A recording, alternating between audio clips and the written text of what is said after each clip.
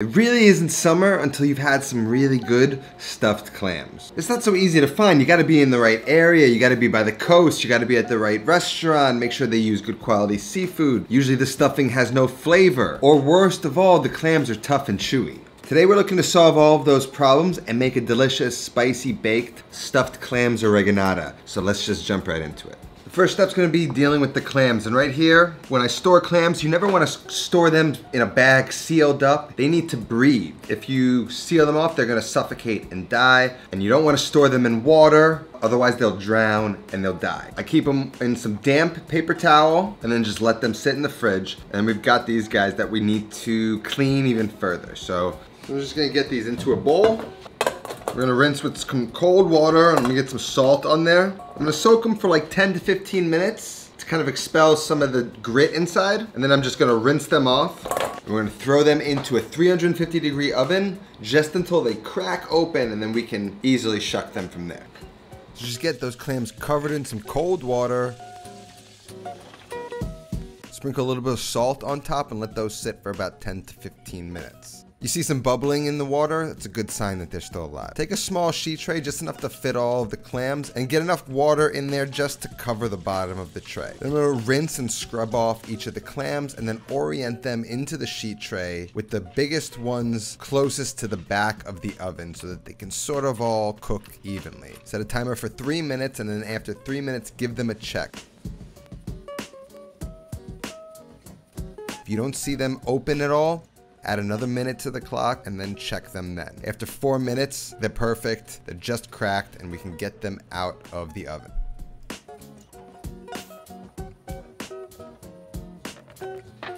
You see how we oriented them? Each row is now perfectly slightly cracked open, not cooked through, still allowing us bake this again later and get it perfectly cooked. All right, so I'm gonna not use any special tools. I'm just gonna use a fork, some scissors if I need to kind of cut the tendons, and a regular knife. I've got a strainer. This is going to allow any bits of shell or anything we don't want to get into the broth that we're gonna then catch in our little container down here. And then a plate for the half shells that we're gonna stuff. I'm gonna orient it this way. First, I'm gonna stick my knife in and I'm gonna do this over the sheet tray to catch this liquid, which I can always strain over here. Knife into the crack like that. And you wanna hold it and with this finger,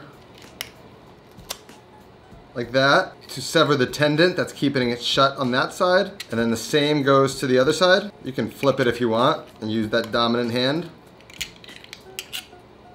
Release the clam. We can take our fork and I just want to reserve this go through in here and remove any bits of shell that are kind of hanging off here that might get into the food. I like to scrape away any of this tendon so it's nice and clean. And then pop the clam back into the shell where it'll await being stuffed. Now these shells are too small, right? So what I'm gonna do is pick, I think this is the right size shell. I'm gonna get that open. I'm just gonna take that fork and I'm gonna hold that clam right here. I'm gonna clean out the shell. And then now I have two nice sized shells so that if I have any shell that's a little too small, like I can't get enough stuffing in there, just transfer that clam into there, this other clam into this one. That one shell is a nice little platter for two stuffed shells. If you have 12 clams, that's 24 shells and you only have 12 clams. So use the best clams to present the 12 half shells that you're gonna stuff. Make sense? For efficiency's sake, I'll open all the clams first, and then pick my favorite ones and start planning which shells I'm gonna use to stuff. You're just working your knife along the shell above and below the clam, and then you just wanna wiggle the knife, it's not sharp, to the corners of the clam shell where the tendon is keeping it shut. If You can just sever that tendon, the clam will open up nice and easily, and you can shuck out the clam meat. Now once you've got all the clams opened, take all of that clam juice you've captured and strain that out and then that's going to be your clam broth that we're going to use for the stuffing. Then just go through and clean the shells that you're going to use for presentation, remove the clam meat and then add those clams to the perfect presentation clam shells that are going to get stuffed.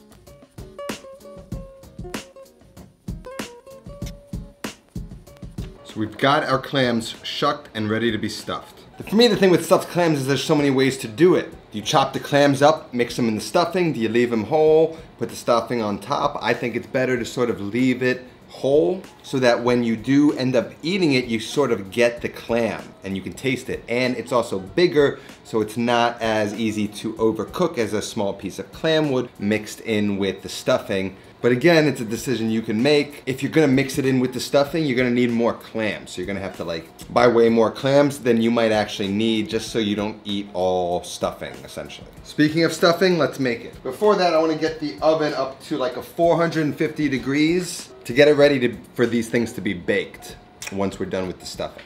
I'm gonna get this into a measuring cup and just hold back on that residue at the bottom. I need about a half cup, and so I'm gonna pour three quarters of the cup just so I have extra just in case I need. We should only need a half cup for this though. So I got a half cup of some homemade breadcrumbs here. You can use store-bought. And then I've got a half of a sleeve or about 15 Ritz crackers. Ritz crackers as a seafood crust is very delicious. You gotta get these ground up though, so into a Ziploc bag, just beat it.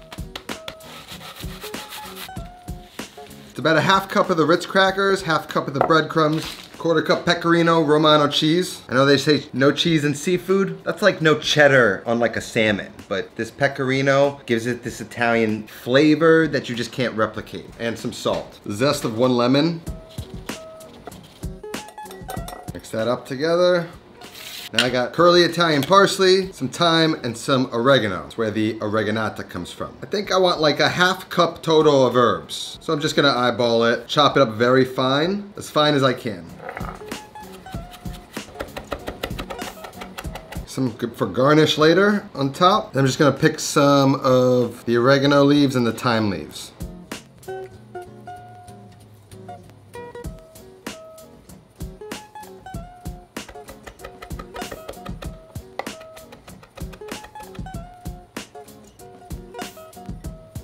So this part's done. Now we need flavors. We're going to cut up some garlic, some bell pepper, and some Calabrian chili. You know me, I can't get away from this stuff. So first we need bell pepper, but I don't need the whole be bell pepper. I need like one cheek. So just gonna go do one of these, and then I can even take it further. By just kind of flattening it and then I have this piece that I could get really thin. The key here is to get this as thin as possible. So I'm gonna go in with my knife. Just go really slow and you sort of are gonna use the tip of the blade to create these really thin strips. Keep them nicely together, give them a rotation to adjust your position, and then cut those into just a really fine dice.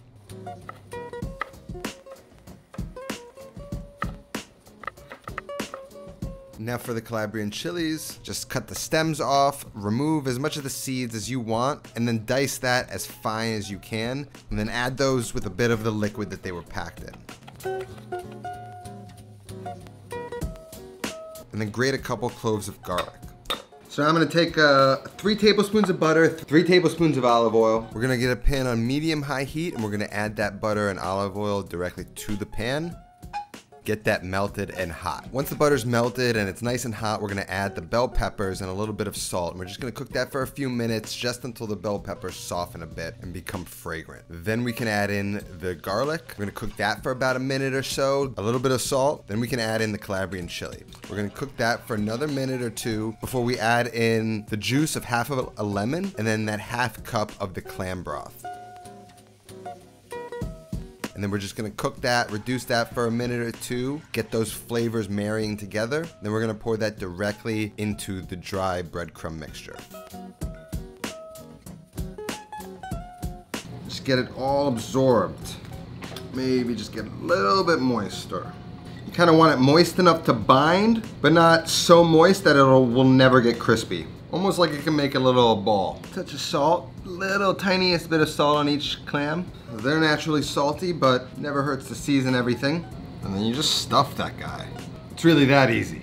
I like a good amount of stuffing, but when you leave them whole, you get a good amount of clam as well. So that's the balance. Careful of these shells. Just caught one, you wanna be careful. I like it tightly packed. I don't need a big mound of the stuffing, but making sure, you know, it's nicely compact and stuffed is kind of what you want. Another thing to keep in mind is that we're gonna broil these at the end. So if you have a nice flat surface of breading, then it's gonna brown nice and evenly. So try not to have any curve or mound action happening on top of the clam. Now you just wanna pop those into a 450 degree oven for about eight to 10 minutes, depending on the size of the clams. While that bakes, I'm just gonna use the remainder of my lemon and cut that into little lemon segments that I'm gonna use for plating the clams.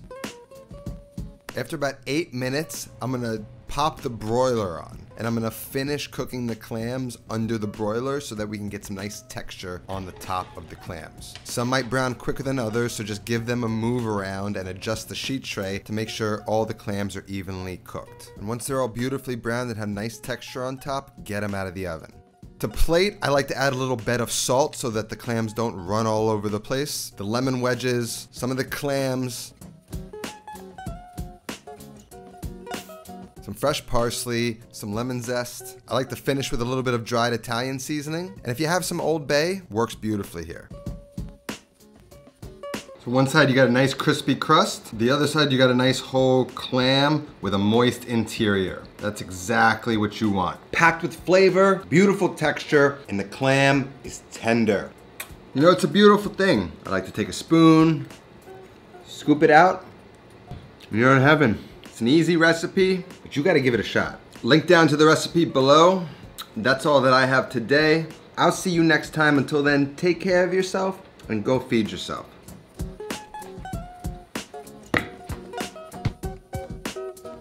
For more summer recipes like this, I've got four on the screen right now. How about giving this fish and chips recipe a try?